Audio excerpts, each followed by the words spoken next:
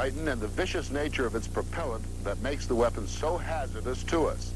The best evidence of that is in the Air Force's own safety studies. They show that in 1978, for example, it was nine times more dangerous to work on a Titan site than in any other job in the Air Force or the Strategic Air Command. And in the seven years between 1973 and 1980, the accident rate due to human error or system failure had increased 10 times. It is dangerous. It is dangerous. It's dangerous to the people that work on it. It's dangerous to the people that are in the surrounding areas around the missile for the simple reason that once the tank's punctured, that's it. There's nothing we can do to prevent it, to hmm. stop it. I'm Mike Wallace. I'm Morley Safer.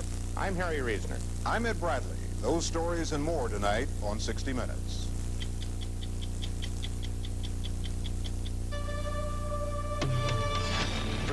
Yourself for a little shock. This year, many traditional full-size cars are no longer full-size cars. This one is. Marquis from Lincoln Mercury. Marquis gives you all the comfort you need, plus the kind of smooth ride that makes driving a pleasure. Marquis from Lincoln Mercury. Can you see yourself riding in anything less? When this young executive bought a house, he looked in towns where the commuter trains were reliable, smart. And when he bought a new car, he researched resale prices on the model he wanted, smart.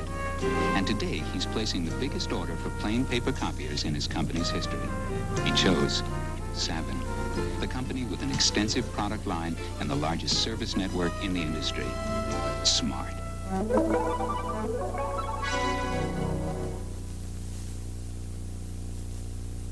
Those two men behind me, Frank Terpil on the far side and Gary Korkala, are hardly household names, but their names are very familiar to law enforcement officials in New York and Washington, and to various officials in Libya and Lebanon, Uganda and Syria.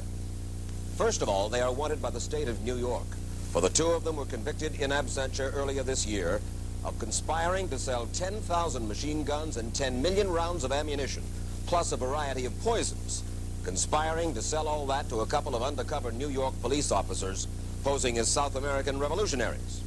However, they fled the United States the day before their trial began.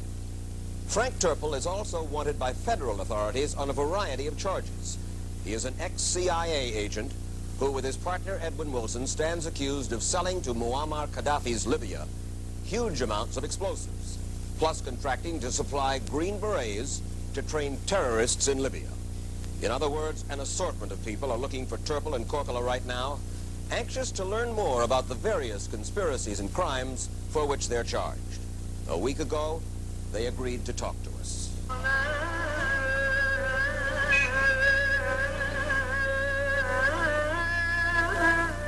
We found Frank Terpil and Gary Korkala living in Lebanon in the city of Beirut. Found them on the balcony of Korkala's apartment.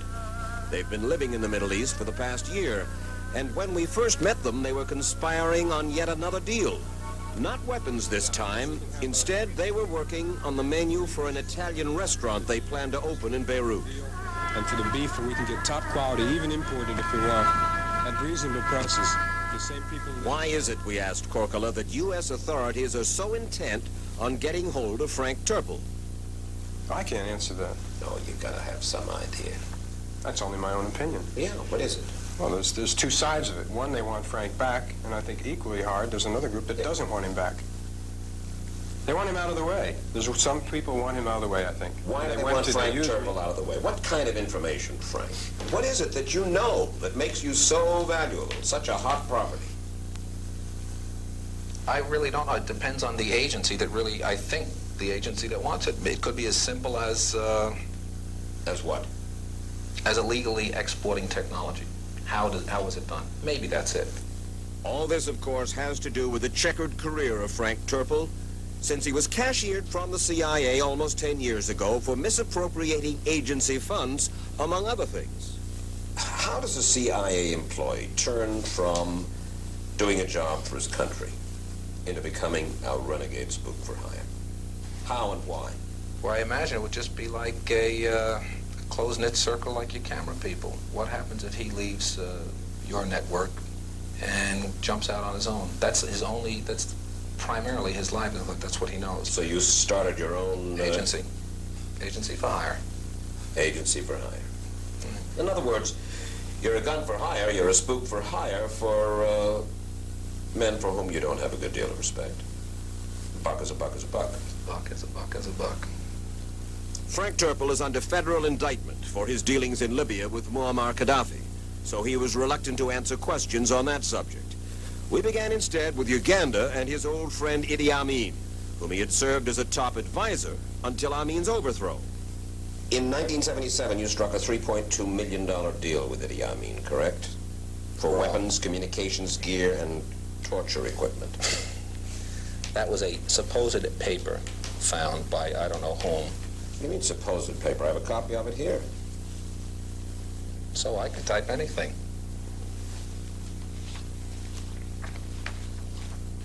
Keep going. Keep going. Whose signature is here? That looks like it could be my signature. Frank Terpil. Whose signature's up here? I have no idea. Field Marshal Amin. I don't think so. Oh, it is. It is. A contract may have been drawn, but it was never consummated. You mean you never not, you never got the 3.2? No, I did not. What have you been living on? What have you been living on? Frugal savings. Before you skipped the country, apparently, uh, Frank, you lived in a quarter of a million dollar Japanese contemporary home in Chain Bridge Road in McLean, Virginia. Yes. Features a basement firing range On a small scale. and a bookcase that opens into a network of concealed passageways. Doesn't everybody have one? And it's been seized by the Internal Revenue Service in lieu of $2.8 million in unpaid taxes. Yes, that was the government's last effort, right? You know, you go through the list of stuff that you make available. It's absolutely fascinating. Here's this list of stuff that you made available to Amin. There's an item in here, $11,000 for interrogation equipment. $11,850 interrogation equipment. What kind of equipment is that? Basically, interrogation equipment is to assist in the rapid uh, interrogation to get the desired result. You can do it by chemical process. You can do it by, uh, I would say, maybe an interrogation device used in Mexico, which may be a rubber hose, is not as sophisticated as using strobe lights, which might be here, or maybe uh, high sound attenuation to drive a person, to make them very uncomfortable. And what kind of chemicals will, will, uh, Well, there's sodium pentothal and there's things of this nature. you're so matter of fact about all of this. I suppose it's Well, it right. exists. Hmm? It exists. I didn't develop it. Your sources for all of this equipment, whether it's torture equipment or explosive equipment or arms or whatever, are mainly U.S. In most cases, I've used US, US equipment, yes. Completely dead. Let's see who's on the phone. This may be the I mean at this moment. Who knows? Mr. Sheikh Yeah, it is. Hello? Hello? Go ahead, sir. Go ahead. Hello? Amin now lives in exile in Saudi Arabia, but he is still trying to get back to power in Uganda, and Terpil keeps in regular touch. We had asked Terpil to place a call to him. Hey, how you been doing? Terpil was told that Amin, a Muslim, was out at the moment. I know, he's probably at the mosque. Yeah, why aren't you at the mosque?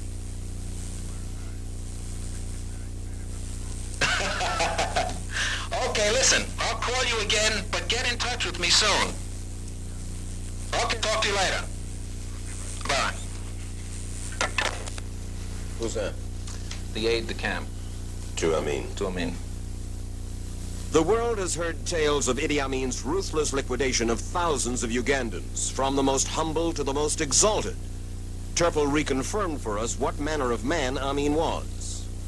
You're sitting at dinner with maybe, what, 10 or 15 people, fairly high up in Amin's government, in his dining room in Kampala.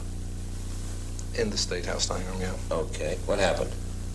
He thought that it, he had a uh, security problem there. So, He served the security problem on a plate. He served up the head of the defense minister on a silver It- platter, I don't, I, I think it was defense minister, I'm not too sure. and the defense minister's head had been served up on this silver platter before. Well, it wasn't cooked or anything like that, I mean, it was just, it was Just severed. It was- Served, served raw. It, uh, it was because. Because why? Why was the guy's head on the platter? Because I think he was trying to plot a coup against the men in, with other people. And then what happened? And then the other person who uh, was in a, this alleged conspiracy panicked. At that point, says Terpil, Amin pulled out his own revolver, a 357 Magnum, a gift from Terpil, incidentally, and shot that other person in the head. He shot the perpetrator. And then went on with dinner? Yeah. I mean, of course. And everybody else went on with dinner, too. It was a lesson, I think, to be learned from any other minister that might have thought he was getting too active. You were making jokes about uh, the defense minister's head on the tray. You were making jokes about Amin, uh, Big Daddy. Do you laugh about those things to to kill the pain? No, not at all. I'm not trying to come I on. sure, yeah. I'm not trying to come on pious with you, but I, I, I just wonder about the morality of, of, of the way you make your living. Well, the morality at the time with Amin's people, the Israelis sold them the Uzis. I didn't sell them the Uzis, so the Israelis made the profit. Are we going to ask Begin what he thinks of it now? Or at that time, Dayan, who was a good friend of Amin? And they sold them explosives because we trained with Israeli explosives. And the PLO helped train uh, Amin's troops. Yes, that's true. Moral of the story? It's a funny world, isn't it? As we said earlier, Terpil and Korkala fled the United States to Beirut, where they are now setting up their new restaurant, because they had been caught red-handed by a couple of New York undercover cops posing as South American revolutionaries. They were caught on tape conspiring to sell arms, ammunition, and poison to the two supposed terrorists. The fact of the matter is that you were going to furnish, what was it, 10,000 Bren machine guns and a million rounds of ammunition and some poisons, were you not? The machine guns were, yes, we were going to furnish the machine guns and the ammunition, which was perf- perfectly legal. We were not breaking any law in that, uh, what we considered any law at all at that point. Anyway, then what's the law against poisons, if, if it has anything to do with poisons?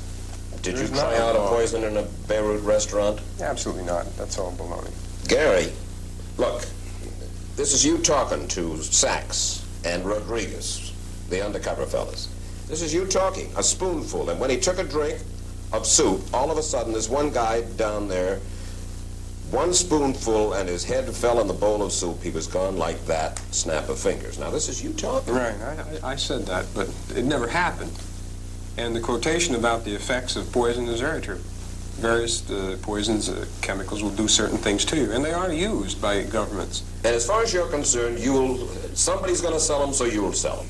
In that particular case, I did, yes. I sold them. To South American, you say revolutionaries, I say terrorists. Oh, actually, I didn't sell them a bunch of poisons. They were given a very, very small sample of a poison. They didn't have enough money to buy the whole kit.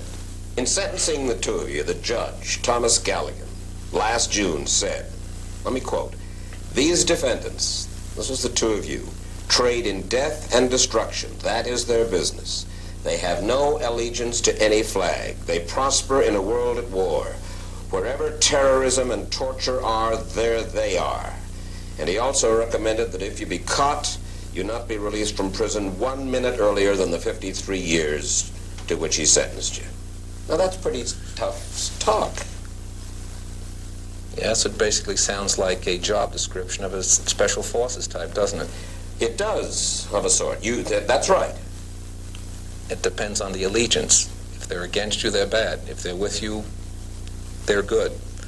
Uh, one of the summations of my, of, I believe it was Gary's attorney, which was bought out, and this was during the uh, problems in Central America, is today's terrorists are tomorrow's allies. It depends on who has the government. You don't care how this stuff is used, Gary? What I actually sold, no, I don't care how any of that was sold. How do you feel about the fact that your friend Ken Howard, with a British bomb disposal unit, was killed a couple of days ago trying to dismantle an IRA bomb in Very, Central? very badly about that. Yeah, that's course you feel bad about that, but that's the kind of stuff you, that you sell. I never have sold explosives to anyone. Well, your friend over here has. Talk to him, but I haven't. How do you feel about that? About selling explosives? Yeah. How does Dow feel about selling it? How does DuPont feel selling about it? I, yes, I have sold explosives, sure. And I've sold them to legal governments. I have not sold them to groups. I've sold them to recognized governments. What, what was the recognized South American government that you were selling these? They didn't have explosives. Oh, I oh wait a minute. At I that time, it was prematurely unrecognized. Frank, Frank, come on, will you? Be sensible. Yeah? You, you're talking about about selling 10,000 Sten machine guns. You're talking about selling a million rounds of ammunition. You're talking about selling poisons. I mean, you're, you're drawing very fine distinctions here. Your friend Gary got blown up. Ken Howard got blown up. He's with a bomb disposal unit. The same thing can happen to other people who work on the same racket that you guys do. That's just, I suppose, one of the hazards of your trade. It's true. You don't think it's an immoral business, Gary? Maybe I did at one time, but as things developed, uh, I didn't know. After I saw what our own government was doing and what they contacted me to do in their behalf after I was arrested, What? Oh, wait, wait, I wait. certainly felt that it was the proper thing to What do. did our own government do, and what did they contact you to do after you were arrested? Well, it, it began even before. Korkala says he had already been working with the U.S. Special Forces and the U.S. Navy, developing sophisticated and deadly weapons and ammunition for them. And in spite of his arrest, he says, they continued to contact him about those items. Incidentally, they were some of the very same terrorist weapons he had sold to those undercover New York cops. One such item, some bullets filled with deadly poison that he was developing for U.S. Navy weapons specialists. Pentagon officials would neither deny nor confirm Korkala's assertions. They say they don't comment on new weapons development. But it was largely because of his continuing government work, especially on weapons and ammunition designed principally for assassination missions, that Korkala and Terpil thought their case would never come to trial, that the government would be afraid of what they might say in open court about the work Korkala had been engaged in. But the trial was scheduled nonetheless, and the day before it was to begin, in September of 1980, they fled the country. Why? Because, says Korkala, one of his attorneys told him he had received a message from an FBI agent that Terpil and Korkala would not be alive long if they were to testify, but that nobody would stop them if they wanted to leave the country. His exact words were something to the effect, they won't uh, help you leave, but they won't do anything to stop it. And I took that at face value. In other words, get out of town. That's exactly it. Korkala's attorney denies he told his client that. Still, Korkala and Terpil stick to their story. What is it they want from you? What information do you have that they want? Probably, and this is speculation again, probably that I had been uh, privy to information on the mechanics of Washington, how things are done in Washington, D.C., deals. Give me an example of a deal. maybe uh, payoffs. Let's put it this way. If I wanted something specific, not lobbying, if I wanted something specifically done, maybe I have to reach the right person, and that right person has to be taken care of. According to Terpil, some of the people that he and his other associate, former CIA agent Ed Wilson, took care of were American officers from the military assistance group in Iran in the days of the Shah. Those officers, says Terpil, for a consideration, would provide him and Wilson valuable inside information on upcoming Iranian orders for American military equipment. That inside information would earn Terpil or Wilson a fat commission from the company that got the business. But if they let you know mm-hmm. and you got 10% off the top, you're going to give that military assistance group officer something in return for his being so kind to make you that living, that gorgeous house down in Virginia and We would probably buy him a new uniform, yes. U.S. investigators are also looking into allegations of similar payoffs made by Terpil and or Wilson to a former official of the Department of Energy and the Army Materiel Command. And Terpil acknowledges he had further dealings with still another government official in the State Department. Apparently you were well connected with someone fairly high up in the passport office. On a friendly basis, yes. Did you have the fix-in with any of the high officials in the passport office in Washington? a kind of fix-in? If you meant that I could get favors, yes, I could get favors. In fact, we have learned that federal authorities have been investigating one State Department official to whom Terpil loaned some $40,000 for construction of a new home. Terpil also told us he has certain knowledge of payoffs to at least one active duty CIA official. In return, that man provided classified CIA reports on specific countries. That information to be passed on, for a price, to interested officials of other countries. Do you know active duty CIA men who are currently producing commercial reports, moonlighting for a fee using classified material? Yes. Situation reports, current situation reports, yeah. And they simply sell information to some commercial firm on material that comes... Right, who in turn sells it as a, uh, a service, let's say a, uh, yes, basically sells it as service. And sure. the CIA guy gets some money for it, and the... He gets part of the money, sure. Mm -hmm. You want No. to name any names? No. Of course, the main thing U.S. investigators want to talk to Terpil about is his relationship with Libyan strongman Muammar Gaddafi, his dealings and those of his friend Ed Wilson, who is currently living in Libya. As we said, both Wilson and Terpil are under indictment for those dealings, and he was not anxious to talk about that. We hear that he and you shipped explosives illegally. We hear that he and you established a terrorist training school there. We hear that he and you arranged for the assassination of a dissident Libyan living in Egypt. Isn't that accurate? That's hearsay. I, it's under, it's still Well, under litigation. hearsay. It's right here on a, uh, you want to read this? U.S. District Court for the District of Columbia. Edwin Wilson, you get second billing. It's all there. Yes, but as I said, I can make any statement about anybody and put it on paper right now. It's, it's up to the government to prove the allegations. But you're If- not, you're not going to go back and stand trial for those allegations. Well, I'm not saying I won't go back and stand trial for the allegations. Did the CIA know of your dealings with Muammar Gaddafi? Did they know of my Yep. dealings? I believe they've got, uh, Did they know? I would say they know. How many former agents like yourself have gone into the business that you're in? There's quite a few. uh, When I say quite a few, in numbers, there are probably, uh, in this area alone, there are about 12 to 15 that just go around the circuit They go into the arms business too? in some cases. Sell their knowledge to the highest bidder? Not all the knowledge is sold to the highest, but there are some lines that have drawn. For instance, I have never, ever worked with any of the bloc countries. Why? It's my own personal reasons. I just don't want to. Terpil is talking here about his disdain for dealing with communist bloc countries. Frank Terpil and Gary Korkala may be exiled in Beirut, but life is not all that Spartan for them. During his spare time, Korkala windsurfs on the beachfront of a Beirut hotel, and he drives around town in what may be the only MG convertible left in Beirut.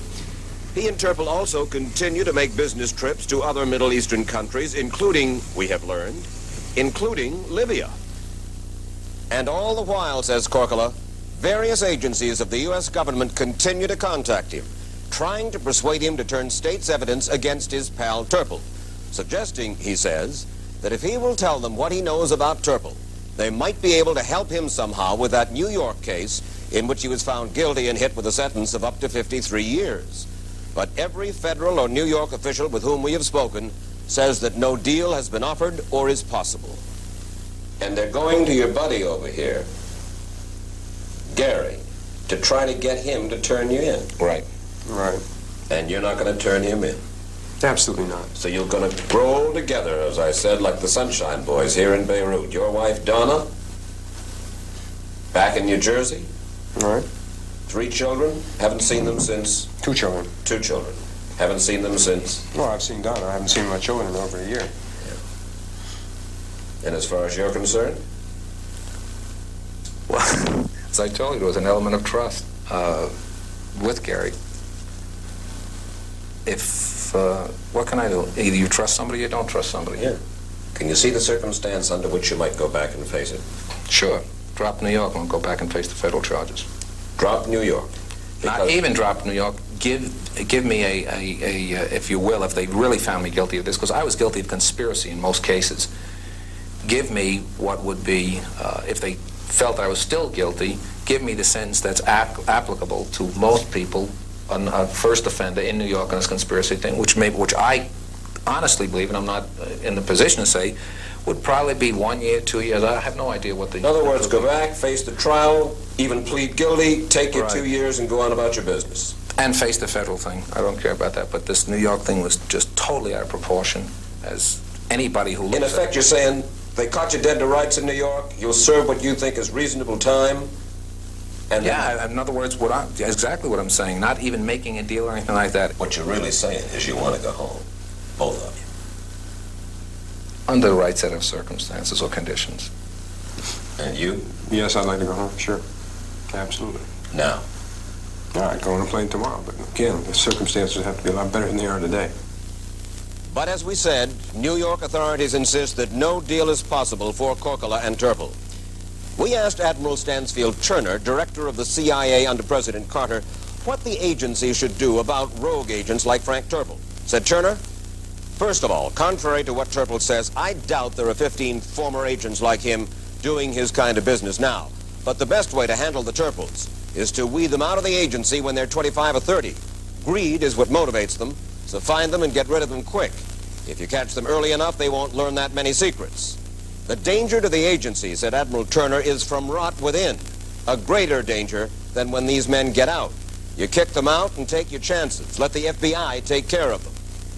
But how well has the FBI been taking care of them? Or the CIA, for that matter? Not as well as they could, say some critics.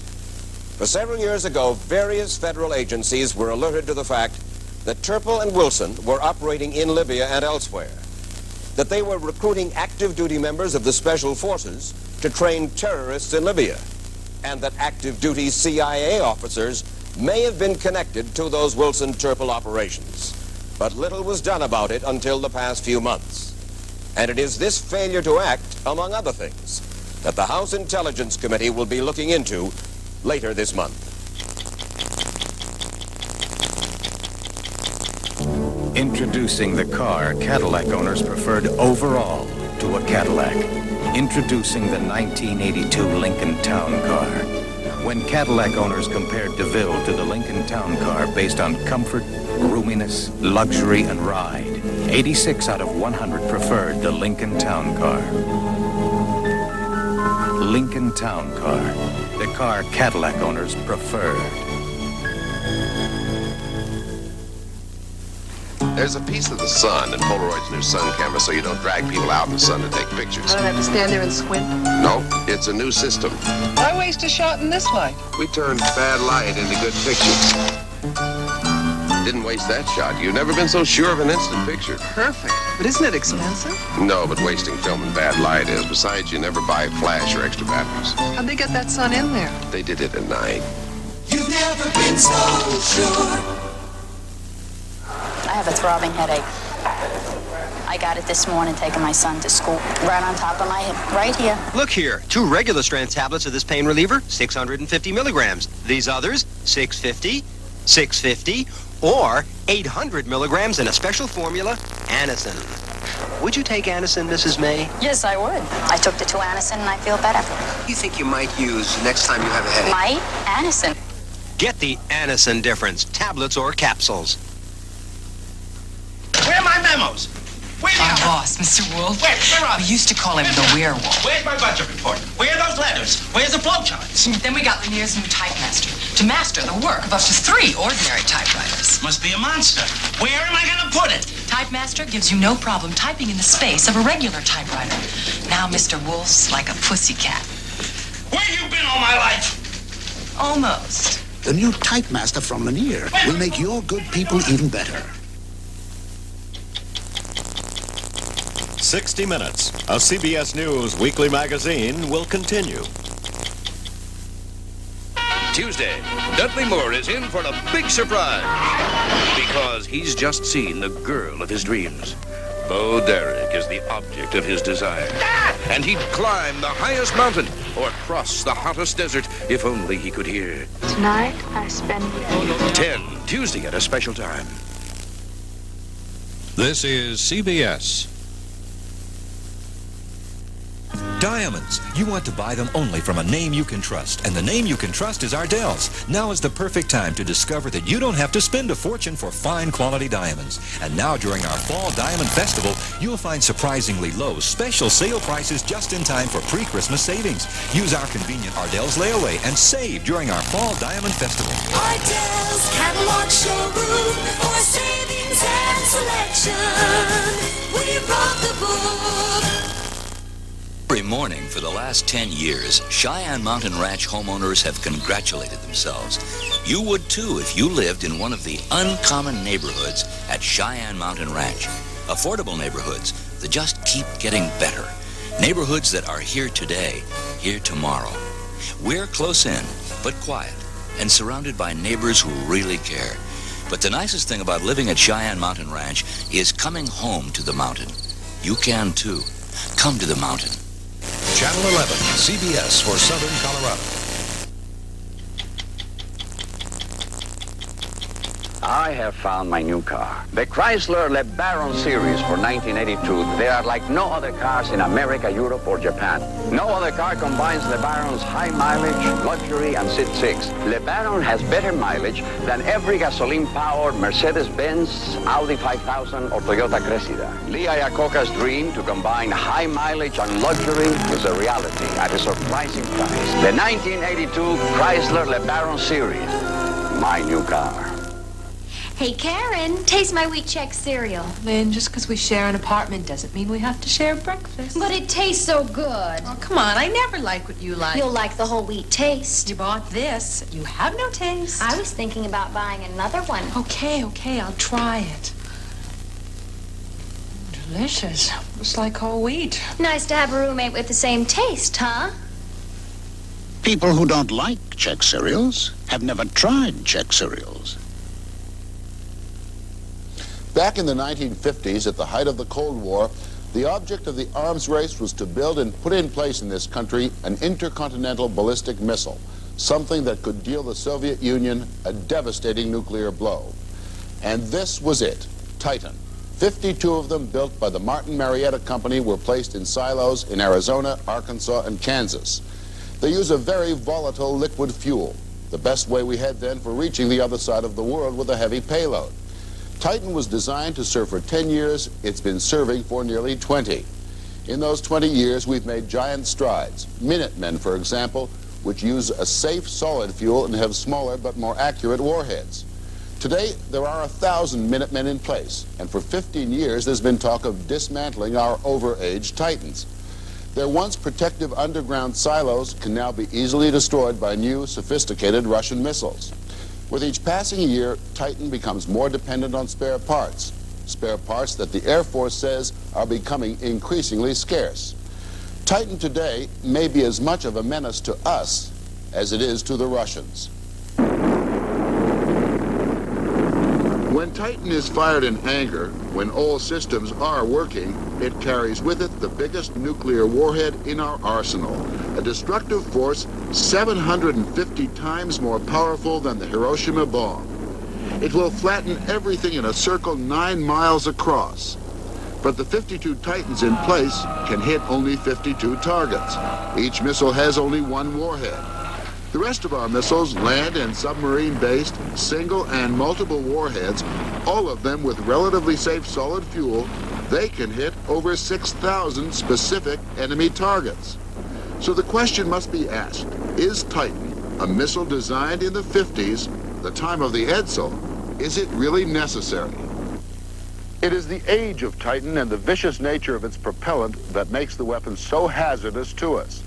The best evidence of that is in the Air Force's own safety studies. They show that in 1978, for example, it was nine times more dangerous to work on a Titan site than in any other job in the Air Force or the Strategic Air Command.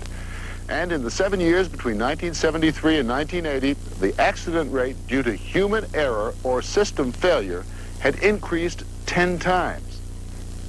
It is dangerous. It is dangerous. It's dangerous to the people that work on it. It's dangerous to the people that are in the surrounding areas around the missile for the simple reason that once the tank's punctured, that's it. There's nothing we can do to prevent it, to stop it. Sergeant Jeff Kennedy was an Air Force quality control inspector maintaining Titan missiles at Little Rock Air Force Base. A year ago, he was the central figure, the hero, in a Titan accident. This is the first time he's spoken out publicly. He and other men who work on Titans know the risks involved in dealing with a 20-year-old liquid fuel missile system. There's so many places for a Titan missile to leak. It's just unbelievable. It's not uncommon to have three or four bird, uh, three or four Titan missiles leaking at once. What makes any leak in a Titan significant is the nature of the propellant. It's not like a mere gas leak. When handling the fuel, a protective suit must be worn that has an internal oxygen supply. In theory, the suit prevents exposure to deadly gases. The chemicals are highly toxic, corrosive, and combustible. They'll burn skin on contact. If inhaled, they can cause death. Air Force documents say, quote, the danger is in the delayed effects of a seemingly mild exposure. Symptoms may not be apparent until several hours or days later. Besides all that, if the two propellants come in contact with each other, they explode. When you offload fuel, does it get into the atmosphere? Oh, yes, definitely. There's just no way we can uh, purge the lines clean. It's just impossible.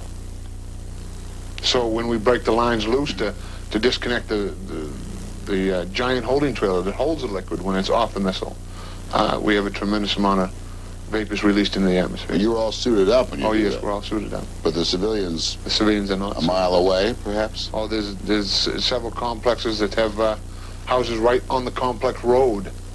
Is there any way to tell how much fuel you're dealing with in a particular missile? Is there a, a gas gauge, in effect, on it? No. No, all we have to do is take x-rays with an x-ray machine. That's the only way we tell. And the x-ray machines are broken down all the time. Exactly how much fuel is on board is of vital importance. Each missile is loaded differently, depending on how far it must travel to reach its particular target. A perfect example is we, uh, one time we we loaded a bird, and the X-ray machine went out, and they said it was 682 gallons over. Over. We came out the next day and spent two days offloading it. 682 gallons we offloaded. The X-ray technicians came out the next day, X-rayed it. We were 682 gallons under. So we went out the next day and added 700 gallons, and we were on, right on the mark. They had X-rayed wrong. You had you had one missile with that was 2,200 gallons short. 2,200 gallons short. short Right. which means it would be 2,200 gallons short of its Destination. There have been three major accidents over the years with Titan and its propellants that involved civilians. One day out in Damascus, Arkansas, a tanker truck was sitting unattended on a site just like this one here outside of Tucson. The tanker developed a leak, apparently unbeknownst to the Air Force. Nearby farmers saw the toxic cloud over their fields. Some had breathed the fumes. They reported it to the Air Force, who had no idea it was happening. Air Force personnel were 40 feet underground in the command module. Those civilians out in Arkansas hired this man, lawyer William Carter, former White House Secret Service man, to sue the Air Force for damages. The Air Force, he says, resisted. It was their attitude that that it was uh, not dangerous, that it was not a significant accident and not a significant leak. And though two civilians were seriously injured, uh, they discounted that the chemicals had caused the injuries. The then Surgeon General of the Air Force wrote to Carter saying those civilians had encountered a substance no more dangerous than smog. But later, an article appeared in the Journal of the American Medical Association that said exposure to those same substances, nitrogen dioxide and nitrogen tetroxide, is potentially lethal. And this article was written by Air Force doctors. Air Force doctors. Yes. The civilian teachers at the University of Arkansas Medical School said those chemicals are lethal. There's nothing any more dangerous than nitrogen tetroxide. So we knew, and the civilian uh, medical profession knew the danger of them, but the Air Force continued to discount uh, uh, their danger.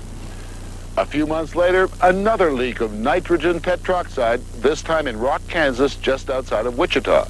During a propellant transfer, a recycling operation just like this one here outside of Tucson. A nozzle popped loose from the missile down below. The surrounding civilian population was evacuated. And as far as the Air Force was concerned, the situation was well in hand. They're wearing Revco suits, rocket fuel handler clothing outfits, and they are completely protected against anything. They have their own oxygen system inside, and they're very well protected. The Air Force spokesperson was prematurely optimistic. Two airmen died. The medical reports told why. Despite protective suit, became unresponsive within 30 minutes of entering silo. Autopsy showed acute pulmonary congestion and chemical burns over entire body. But it was the night of September 18, 1980, back in Damascus, Arkansas, the site of the earlier leaks, that the public and perhaps the Air Force itself faced the full horror of what Titan can do when even the simplest of mistakes is made. During a routine check, an airman dropped a nine-pound socket from a wrench. It fell 66 feet down a silo, bounced off the silo floor, and on the rebound, punched a hole in the extremely thin skin of the missile's fuel cell. Fuel began to leak, and the Air Force sent Jeff Kennedy, a 25-year-old sergeant, to take a look. I was asked to go because the simple reason that I was quality control evaluator on site, and I was uh, the most knowledgeable person uh, on complex at that time. General Leavitt, who was the vice commander in charge of SAC, said in testimony after the accident, we simply could not expect the problem to neutralize itself. It would not get better. It would get worse. Whether a Titan warhead would survive intact, a catastrophic explosion was a matter of grave concern. Was that concern passed on to you, did you? No, we were Sure. never we were never informed of a, any type that an explosion was imminent or possible. The silo had a 750 ton door on it, and we figured that there was no explosion possible that could blow a door off, weighing that amount. The Air Force seemed to go into a spiral of confusion that night. Classified tape recordings indicate they feared the worst, yet little was done by way of safety precautions. Yet they had, as it turned out, from the time that wrench was dropped, nine hours to prepare. At 9.20 p.m., Kennedy entered the abandoned control center alone. Kennedy read the gauges down below. They showed a massive spill was taking place. It was those readings that told SAC headquarters and the Martin Marietta Company, both on a phone hookup to Damascus, just how serious the situation had become. Six hours later, Kennedy and a partner, Airman David Livingston, were ordered down into the complex, now dangerously saturated with highly combustible vapors. The last order sent to them was to turn on exhaust fans. They did. A second later, the place was blown to bits. When what in fact happened to that 750-ton door? From what I understand, it went approximately 200 feet straight up and about a thousand feet off complex. Almost like a Titan. Yes, exactly. After the blast, what happened? You were thrown. I was thrown about 150 feet straight back to a fence. Did what happened? The Air Force came in and rushed in and pulled you out, presumably. No. No, the Air Force evacuated. There was 38, 38 people uh, down at the end of the complex, and they were gone. That was that was real hard to accept, but they were gone. They'd uh, completely evacuated. Bugged out is a military word. Yes, exactly. As bad as it was that night, there was a lucky break. That nuclear warhead remained intact. The place looked like Titan's nine megaton bomb had hit it, but it was only a nine pound wrench. The response was not orderly. Medevac helicopters got lost in the dark. Six airmen were badly injured.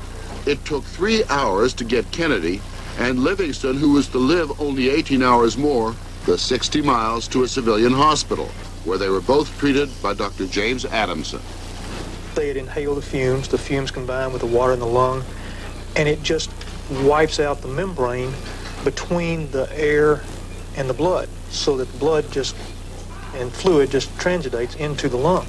So, the, in, in fact, the cause of Livingston's death was was this fluid that uh, just poured into his lungs, and we just couldn't reverse it. A question that remains unanswered and is these strange neurological symptoms that people have had. The people at Rock, Kansas, uh, some of the people in the Damascus area who drove through what they describe as the uh, fog of the gas. Did the Air Force get in touch with you right after the explosion and say, look, doctor, this is the way we treated those men, the victims of the Rock, Kansas accident? No, I didn't get any information from the Air Force about the Rock, Kansas incident until three or four days later. From the time of the explosion, there was just mass confusion. Uh, whatever emergency procedures they had, they apparently didn't follow. The Air Force was unwilling to provide us information about previous accidents until after the Damascus explosion. We find then that there's been leaks at these same missile sites here in Arkansas for years and years, and back into the 60s. Serious leaks. After the incident at Damascus, there was little doubt that there was something inherently wrong with the Titan system. Apart from the loss of life, the total cost of that dropped socket wrench was $225 million. I'll repeat that. $225 million over a dropped wrench. A major investigation of Titan was launched. It produced volumes of words and recommended almost 200 changes. It found that a number of sites were way too close to built-up centers of population and should be removed. This one in Arizona, for example, is practically in a schoolyard. But so far, Titan remains. The investigation also found the protective suits would not protect in the event of a major leak. And what's more, there weren't enough suits to go round. It found that vapor detectors, the devices that detect a leak, only work about half the time. It is a long and chilling list of inadequacies and shortages. It's hard to believe when you read these documents that something that we've been told is so vital to our survival is in fact so decrepit. There's an odd footnote to the events of the night of September 18, 1980 at Damascus. Jeff Kennedy was given a letter of reprimand for going into the command capsule alone, a violation of security because of classified documents lying around. However, for going down again six hours later, he was awarded the Airman's Medal for bravery. I was going down at 9.20 when I received the letter of reprimand. I went down there for God, my country, the flag, my job, everything. I didn't go down there for any other reason. I gave them my all. And what did I get from them? A letter of reprimand. A letter of reprimand for doing everything I thought was right. Does this mean anything to you now, though, Jeff? No. No, it doesn't. You think that letter of reprimand was written not to, not to really to reprimand Jeff Kennedy, but to cover someone's backside? Yes, mm-hmm. but what about the little guy? What about me? You, you know, that's true. Maybe somebody up the line had had to cover up. But what about me? That is only one question, and with all due respect to Sergeant Kennedy, the least important question to be put to the Air Force. There are dozens more that involve the security of the country in time of war and the safety of communities and airmen in time of peace. The Air Force absolutely refuses to answer any questions. As for those 200 recommendations, it's still uncertain if they'll be implemented, given that President Reagan has said that the ancient Titans will be replaced in two or three years by the new solid-fuel MX missile. One thing the Strategic Air Command did tell us was that it had no plans to dismantle Titan. The missile stays in place, it says. The MX is merely a plan on a drawing board. So Titan, the blunderbuss of strategic weapons, remains quietly and precariously on guard. A few other bits and pieces about Titan. There were indications in the past week or so that MX might never be built. But even if it is, and Titan is dismantled, there's the problem of disposing of a million and a half gallons of highly toxic chemicals. And one other footnote. The space shuttle, which was originally to be launched last September, was postponed then because just three gallons of the same propellant that is used in Titan was spilled on the shuttle.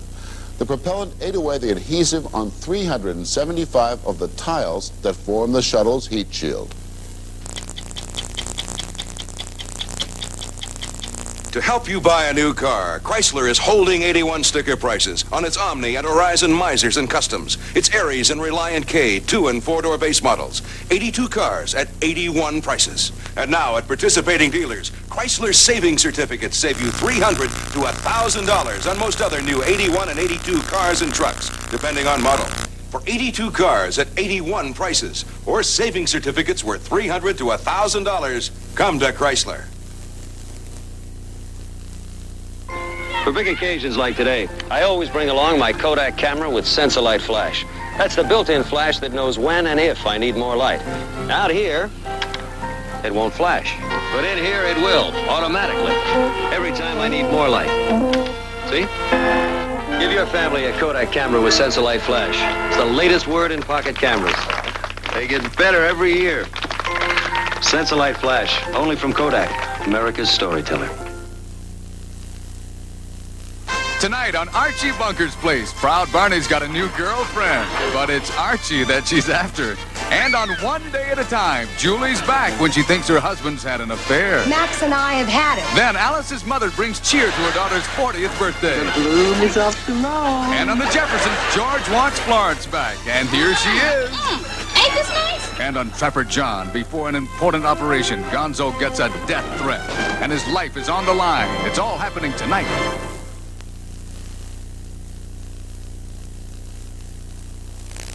Before we get around to our mail, Andy Rooney's been looking at his, and he doesn't like what he sees. Government agencies are always doing things that make it easier for them and harder for the rest of us. The U.S. Postal Service, for example, in this official book of theirs, has issued a list of the abbreviations we're supposed to use for state names when we address a letter. We had that one page blown up here so you could read it. Alabama. Alabama, you recall, always used to be ALA. The Postal Service is going to save us billions of dollars and assure that letters to Alabama will be delivered in the same year in which they're mailed by shortening the abbreviation to just AL. AL could also be Alaska, of course, but Alaska is now AK. I have no objection to that, except that AK could also stand for Arkansas. They're just going to grab the K out of the middle of the word somewhere. California has been shortened from CAL to just CA. To me, Cal has a ring to it that CA doesn't have. They also ruin NEB, NEB, for Nebraska by making it just NE. Nah. There's nothing consistent about these abbreviations. That's the trouble with them. If Wisconsin is WI, how come Pennsylvania is PA? Why didn't they take the second letter of Pennsylvania and make it PE? And look at the MIs. Michigan, Minnesota, Mississippi, and Missouri. Any one of them could be MI, but what does the Postal Service do? It takes perfectly good Mich, M-I-C-H, away from Michigan and makes that MI. Minnesota is MN, which could also stand for Montana. Missouri stays as MO. I suppose we're lucky they didn't reassign MO to Montana. Mississippi is MS, Ms, which could just as easily be Missouri. So I don't understand these changes in the abbreviations the Postal Service has made, and I think I'm going to stick with the old abbreviations. I'm still going to use Mass for Massachusetts, WIS for Wisconsin, and Utah for Utah. I'm just never in so much of a hurry that I can't write out all of Utah. Last week, we told the story of three department store employees who were awarded $1.9 million by a jury which found their employer, I. Magnin, guilty of age discrimination. And that story brought this from the president of I. Magnin. In your ruthless and selective editing of an interview with our chairman, you omitted to say that he was 63 years old when he was hired, You also failed to inform your viewers that charges of age discrimination are common and that CBS News itself is the target of such a suit. The fact is that whereby a jury found I. Magnin guilty of such a charge, in the only age discrimination suit against CBS News ever to come to trial, a jury found CBS News not guilty. On that subject, another letter said, what about cleaning your own house before looking for dust elsewhere? Cronkite, Sevareid, Chancellor, and Brinkley are being moved out for Brokaw, Rather, Sawyer, Jennings, and Mudd. A self-respecting girl can't get a decent daddy fix anymore. About our story on the pastor who wants to cleanse the public library in Abingdon, Virginia, we got a few letters like this one. Right on, Pastor Williams. I don't pay taxes to supply pornography to public libraries. But far and away, most of the mail was in this vein. If the fundamentalists want the law to suit their own religious beliefs, let them join the fundamentalists in Iran. I'm Harry Reasoner. We'll be back next week with another edition of 60 Minutes. I have found my new car. The Chrysler LeBaron series for 1982. LeBaron combines high mileage and luxury. The coupe even has a Mark Cross interior available. And no other car has front-wheel drive, luxury, and seat six at so surprising a price. Lee Iacocca's dream to combine high mileage and luxury is a reality. The 1982 Chrysler LeBaron series. They are like no other cars in America, Europe, or Japan. My new car. Bell System Knowledge brings you a way to manage information more productively. Dimension PBX, a programmable electronic communication system for making critical connections more rapidly, increasing profits, controlling costs, saving energy, creating new information management possibilities for an endless variety of businesses. Dimension PBX from Bell.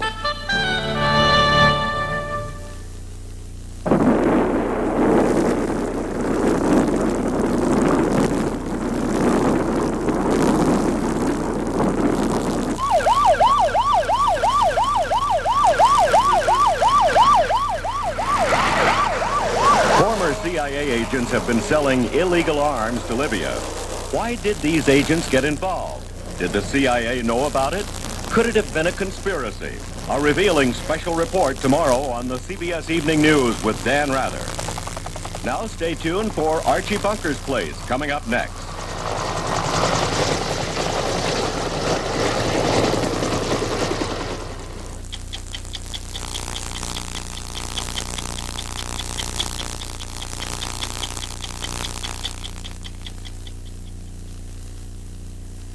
Wednesday on the season premiere of Nurse. Finchley almost killed a patient. Why are you protecting him? Mary risks her career when she fights a cover-up. Oh, God. Then it's Kevin Dobson in the exciting premiere of Shannon.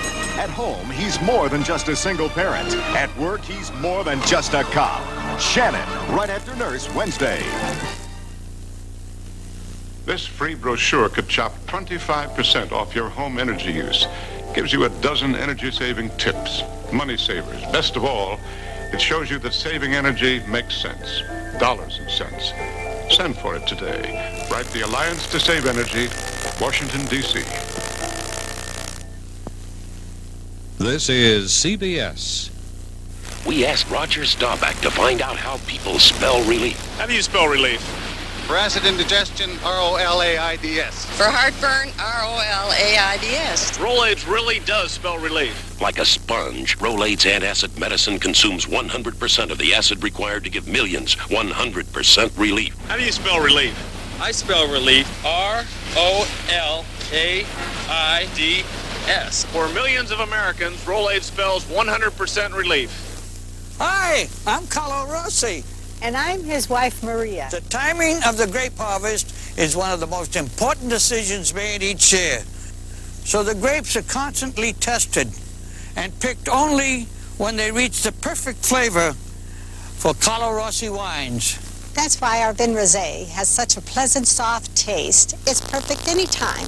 I like talking about Carlo Rossi Vin Rosé. but I'd rather drink it. Be prepared.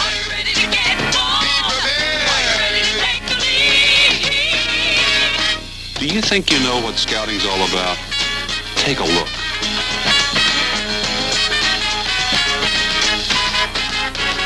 Be prepared. Are you ready to get involved? Be prepared. Are you ready to take the lead? Scouting today is a lot more than you think. Join your local troop.